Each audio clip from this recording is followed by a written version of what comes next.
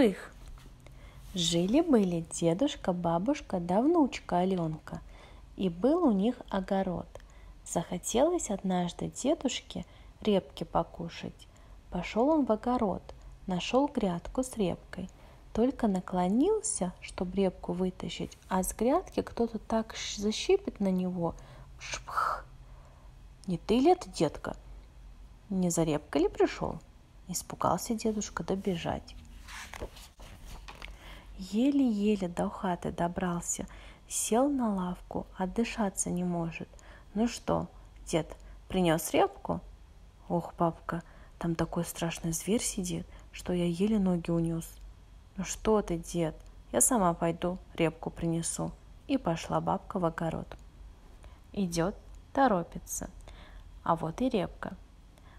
Нагнулась бабка, чтобы репку вытащить. И как зашипит на нее кто-то – Шпх! Не ты ли это бабка? Не за репкой ли пришла? Испугалась бабка добежать.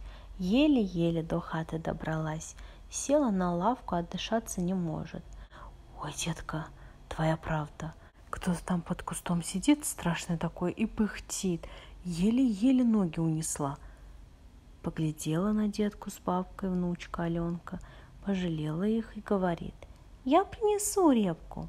Пошла Аленка в огород, пришла к тому месту, где репка росла, и только наклонилась, чтобы репку вытащить с грядки, как зашипит кто-то.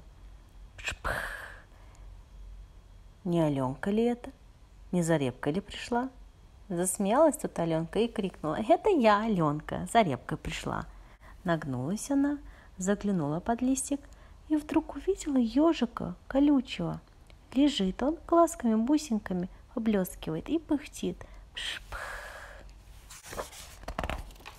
Засмеялась девчонка, вытянула репку, ежика в передничек положила и побежала домой.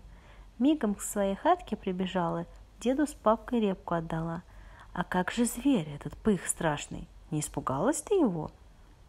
Раскрыла тут Аленка передничек, а вот вам и пых, засмеялась. Ну и молодец, Аленка, ну и смелая девчонка. Вот и сказки конец. А кто слушал, молодец.